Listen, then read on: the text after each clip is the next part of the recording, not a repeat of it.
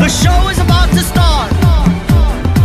You have to show a look, have a look, or give a look. Faces. Celebrity News Update. Aktres na sila ni Misa Lucha emotional ibinahagi ang pagkawala ng kanyang pandinig. Paalala lang po ang videong ito ay base lamang sa mga nakalap na impormasyon na nag-viral at usap-usapan sa mga social media platforms. Hindi napigilan nila ni Misa Lucha ang sarili na maging emosyonal habang binabalikan ang naging epekto sa kanyang singing career ng pagkawala ng kanyang pandinig.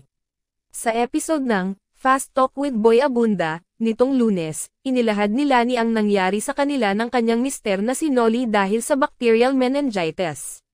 Ang bacterial meningitis ay hindi biro, maaring mag-cost ito ng iyong buhay kapag dinaagapan, sabi Asia's singer.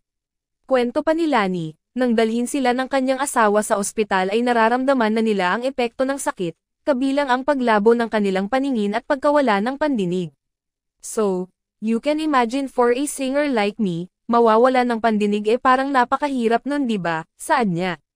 Sinabi ni Lani na dumaan sila ni Nolly sa matinding gamutan para patayin ang bakterya sa kanilang katawan.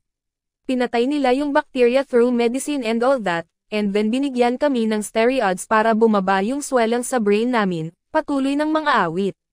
Ayon kay Lani, ang karanasan niya sa bacterial meningitis ang isa sa pinakamatinding health scare sa kanyang buhay, at naging banta sa kanyang singing career. Napaka-terrible ng pakiramdam na, paano ako kakanta na yung sarili kong boses hindi ko na naririnig. Paliwanag niya, sabi pa niya, noong umawit siya sa Christmas special ng The Clash 2020, hindi niya alam na Sint Anoda siya. Noong kumanta na nga ako doon sa Christmas concert ng The Clash, hindi ko alam na Sint Anoda pala ako, na hindi ko nahit yung notes ko, lahat niya.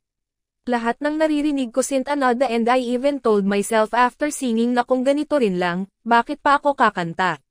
Sinong audience ang gustong makarinig ng sintonado, dagdag ni Lani. May pagkakataon din umano na tinanong ni Lani ang Diyos sa kinakaharap niyang pagsubok sa buhay. Siyempre, hindi mo maiiwasan in the beginning na, bakit naman ganon, singer ako eh. Ayon kay Lani, hindi niya masabi kung mas mabuti na ang pakiramdam niya ngayon pero, we gotten used to the situation. Ano ang masasabi mo dito? Magkomento lang po at para sa susunod na balita huwag kalimotang mag-like share, subscribe and click the notification bell para laging updated sa susunod na balita.